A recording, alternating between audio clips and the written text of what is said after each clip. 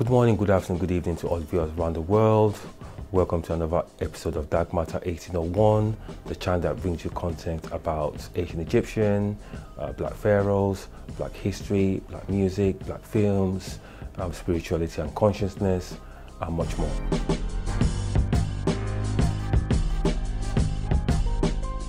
Um, today's topic is about the pharaohs of the first dynasty of Egypt. Um, this is a continuation from the first episode, um, the 10 facts about King Narmer from the first dynasty of Egypt.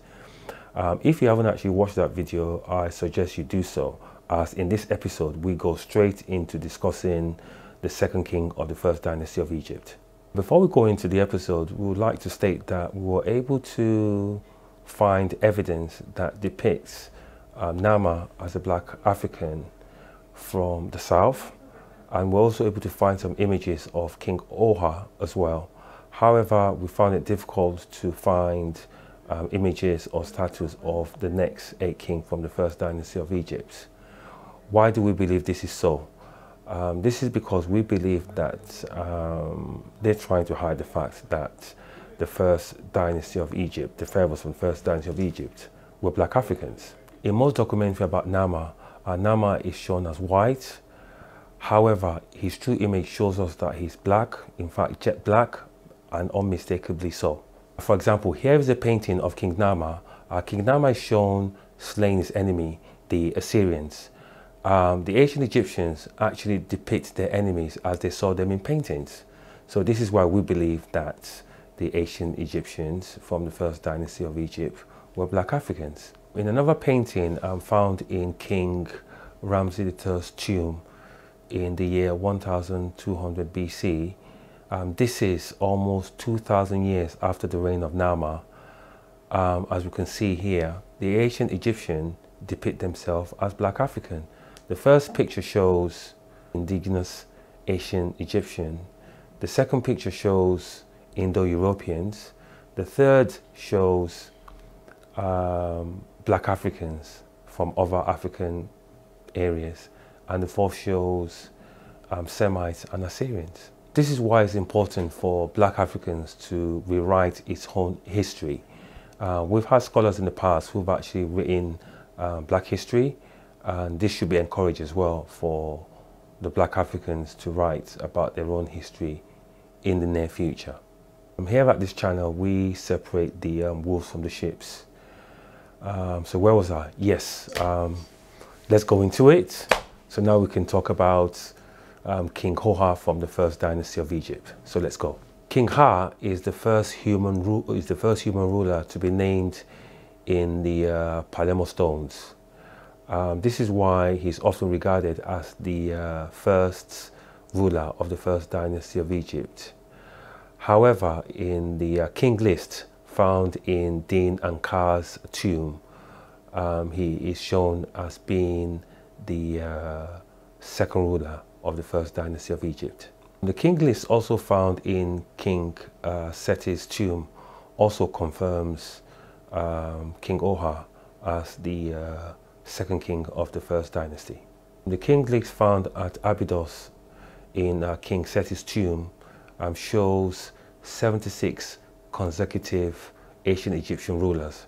I mean, there is no record of any of such thing anywhere else on the planet. Um, you can see um, King Seti um, standing behind the future king, um, the First, and as you can see in the picture, Ramses is not even on the list. So this is 2,000 years of Egyptian rule with not a single break. I mean, that is magnificent. I mean, look at Seti's um, son in the painting, and you can see the future king, um, Ramses I, and then compare him to the little boy of this picture here. You can see that both of them have actually got braids. Um, braids used to actually be um, a feature or, or display of kingship back in ancient Egypt. King Hoha's parents are King Narmer and Queen Neferhotep. Um, it seems that King Oha came to power when he was around 30 years old and ruled from between 3100 BC to 2975 BC. King Oha is shown in an ivory label, which was found in his mom's tomb um, in, in Saqqara um, receiving a ceremony called the South and the North. Um, this may have been thought of as a ceremony uniting the uh, South and North. King Aha's queen was Benerith and her name was discovered in a number of um, historical pieces all around um, ancient Egypt. Another of King Oha's wife is known as Kenhap. Um, she is thought to be the mother of King Deja and inscriptions of her name was found in the uh, Cairo Annal stone. Inscriptions from an ivory uh, tablet from Abydos um, states that uh, King uh, Aha um, led an expedition against his neighbors, the Nubians. On the year tablets, um, a year is explicitly called the smiting of the Ta-Seti Nubians. King Oha is believed to have um, been killed by an hippo, an animal which is associated with the god Set, um, an archetype uh, of Horus. King Oha was buried in Abydos. Um, his tomb consists of five uh, subterranean chambers and has 27 storeroom above ground level.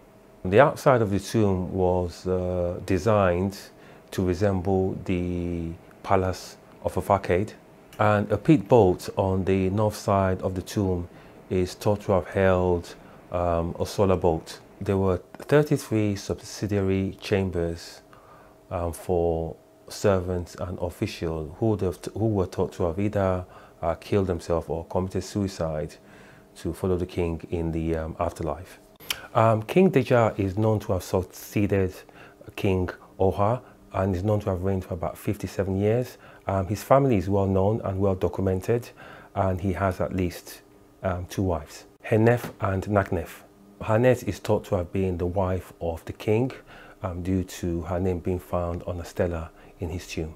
And his second wife, um, Neknef, um, is found on a stela uh, located in his funeral complex.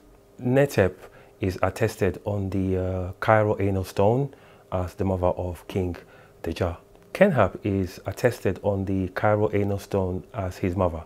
King Deja is believed to be the father of Meneth um, due to artifacts um, linking um, Teja, Tejet and Din. Meneth ruled as uh, co-regent to Din. During the reign of uh, King Deja, um, military exploration was mentioned occurring in the area of Wadi Halfa, which is the modern day Sudan. Carving here shows um, the king's enemy being thrown into the water in front of an Egyptian warship. Trips are also mentioned on the year label to the city of Buto and to the city of Sas, found at Abydos. The temple of uh, Sas here was the African Medical School from the year 3000 BC to the year 525 BC. There's another year label from Saqqara dating um, to his reign, which shows um, human sacrifice. Tejas surrounded his tomb with numerous um, retainers who went to the grave with him. In total, there were 318 service graves. Of this, um, 76 females were found, 11 males, and two holding dwarfs were also found. All were probably service staffs. Um, Tejet, also known as Zet, um, is the fourth ruler of the uh, first dynasty. Um, his Horus name is Cobra Horus uh, or Serpent of Horus. Tejet's uh, queen was his sister uh, Menef, who ruled in her own right after the king's death. Tejet and uh, Menef's son is Din, and their grandson is Najeb. One of uh, uh, Tejet's wife is known as Hanef, um, the goddess of Neth, as seen here. Tejet reigned for about 10 years, and detail of his reign is lost in the um, Palermo stone. Finds of uh, vessel fragments and seal impression proves that there were intense trading activities with um, the South Canaan which is today known as uh, Palestine and Syria. Tejet reigned for a very short period, meaning that he died before Din was old enough to rule. King Teja was buried in the Saqqara tomb and a subsidiary tomb shows 174 burial chambers. Uh, Menef was the first queen of the first dynasty of Egypt. Um, she ruled after the death of um, her husband, King Tejet, um, due to the fact that um, King Din was still too young to rule. Queen Menef ruled um, in the year 2950 BC um, for an unknown period. Menef names means the uh, beloved of Neth and her symbol um, also shows Egyptian um, deities. Menef is known as the uh, great-granddaughter of Narmer, the uh, king of the first dynasty of Egypt. During Menef's reign, the uh, first treasury was established and another department was mentioned in a sale for raising and slaughtering cows. Queen tomb was found in Abydos, um, associated with other pharaohs of that dynasty. King D, also known as Idimu, is the Horus name of the early um, dynastic period who ruled in the first dynasty. King D is the best um, archaeologically attested ruler of the first dynasty. Din is thought to have brought um, prosperity to his realm and uh, numerous um, innovation is attributed to his reign. The cartouche name of Din uh, found in the Abydos king list is known as Sepati. King Din is known as the most important ruler of the first dynasty, so we decided to investigate further. This is Ferdinand de Saussure, a Swiss a linguist and a philosopher. He was born in 1857 and died in 1913. According to Ferdinand, the surest way to prove cultural contact between peoples is to adduce linguistic um, evidence. In his book um, titled The uh, History of Africa, the author claimed that the uh, largest inhabitant of ancient Egypt the Yorubas, and more than 500 vocabularies can be deduced from the um, ancient Egyptian language without the mixture of um, Roman and Arabic language. Here are some examples. Wu means rise in both the ancient Egyptian and Yoruba language, and the list goes on and on. Dean's name is Shepati in the cartouche found on the uh, King's Abydos list. So we decided to check the hieroglyphs here. We find that uh, Shepati actually is Shepakati, uh, which in Yoruba means um, an important person or a huge personality. King D is also known as Idimu, which in Yoruba means the holder or retainer of a title. So this means that King D's actual name is King Shepakati. When we found out, it was almost like um, uh, discovering um, a pot of gold. As you can also see from the uh, uh, Palermo stone, King uh, Shepakati is also smashing um, his enemy, the Assyrian. Why did they omit um, the Ka from his name, you may ask? We believe it is because um, they did not want his true identity to be known. Just look at a clear version of the Abydos king list here. Um, king Shepakati is actually fifth on the list. There's a huge gap between his name where the symbol Ka has been omitted. All important um, pharaohs on that list have at least um, three symbols. King Din, as we know him now as King Shepakati, is the first Egyptian pharaoh um, to introduce numbers to count. In another Palermo stone fragment, you can see um, one of his high official. Um, his name is Inuka. Um, Inuka actually means to count from inside. So can you see that connection? Ka means to count in the Yoruba language as can be seen here in the symbols. This is uh, King Shepakati's Palermo stone. If you look to the left hand side, you can actually see the symbols of the hand holding up with 10 fingers as if showing how many fingers do I have. We should also not forget that uh, Queen Uh, Menef is the great-granddaughter of the first pharaoh of the first Egyptian dynasty, Neymar, and the mother of King uh, Shepakati. King D, or um, Shepakati, uh, reigned for 42 years, um, according to um, inscription found on the uh, Palermo stones. King Shepakati, also known as King D, uh, was buried in Abydos. His tomb is the first to actually have a staircase in the history of um, Egypt.